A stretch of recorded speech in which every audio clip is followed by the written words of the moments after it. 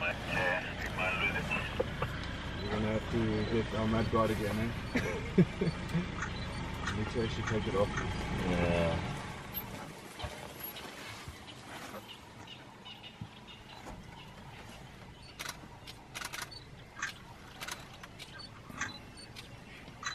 Try and get in front of him.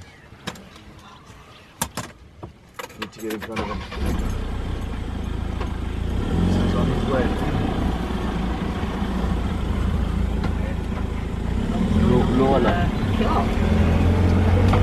Lions will kill. Lions.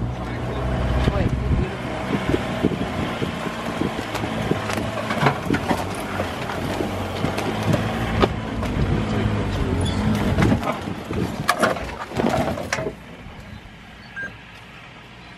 He's steady, eh? He's moving.